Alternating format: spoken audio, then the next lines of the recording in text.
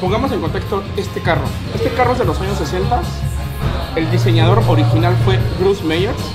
Él diseñó este buggy para playa. Está asentado sobre el chasis de un bocho, obviamente de esos años.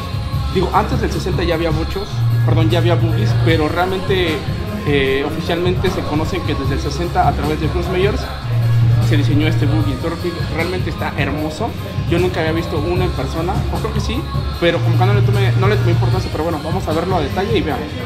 Vean sus asientos deportivos, vean su, su volante deportivo, su tablero, pues digo, realmente pues en esos tiempos pues no, no era tan sofisticado. Eh, su palanquita muy sencillita, pero bueno, vean esto, esto es como tipo Paula, su logotipo de Hot Wheels, sus espejos laterales que realmente están muy ad hoc para el, para el diseño del carro.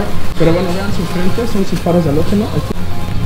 Vean, vean su suspensión, limpiecita, no nada de grasa. Yo creo que lo mandó lavar para, para exhibirlo aquí. Realmente tuvo que haber lavado para que se mostrara así, sin duda. Chino trae su birlo de seguridad. Comúnmente se le ha visto a los muchos y bueno, en este Wii nunca se lo había visto, pero creo que le, le queda muy bien. Eh, vean sus calaveras con un contorno en cromo. Vean su motor bien limpiecito, con toques en amarillo a la corrojería del carro. No sé describirles su motor porque realmente no desconozco de motores, pero se ve bien chido.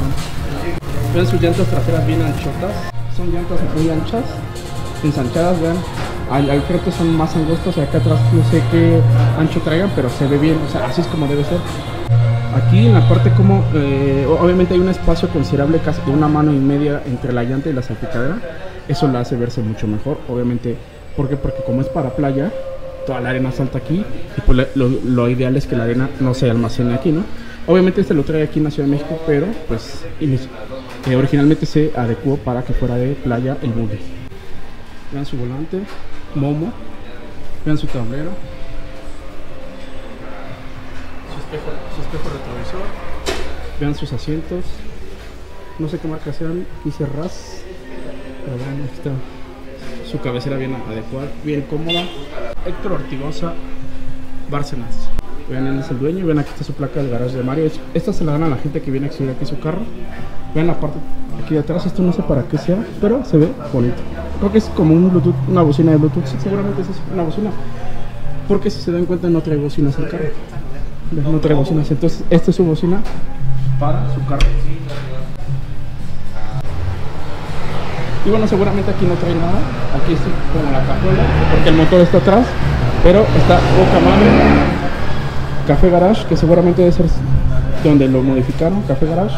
Y bueno, su logo de Volkswagen, porque recuerden que está basado en un bocho. Vean su frente en color rojo. Está muy, tiene muy bonita combinación. Vean cómo el amarillo resalta ahí con el, el rojo, cómo resalta con el amarillo. Y aquí al fondo se ve el amarillo de la parte trasera, entonces resalta mucho junto con el logotipo de Wheels.